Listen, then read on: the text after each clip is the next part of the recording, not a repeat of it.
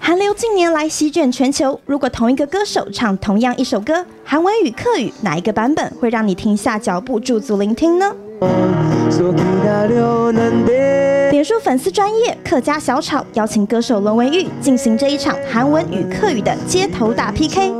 明明是一样的旋律和歌声，路人的反应却大不相同。那你常听韩韩语歌吗？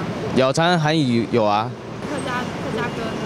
哦，客家歌我就听不懂了。因为身边朋友还蛮喜欢韩文跟看韩剧，所以我被他们影响到。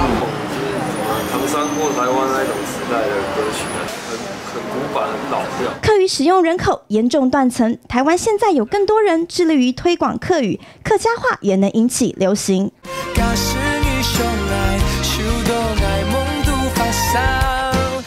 今年入围气象金钟奖的戏剧《出境事务所》，就让人对客语耳目一新，带动客家话学习风潮。那因为这剧播出之后呢，非常非常多人，然后听到原来客家歌其实还蛮流行，朗朗上口。台东的原住民看了这个剧，为了这个歌，他去学了客家话。推荐一个像客家小炒，但他就用插画，他结合时事，让大家知道客家的美好。这样，不让外来文化专美于前，客家文化也拥有深厚的底蕴。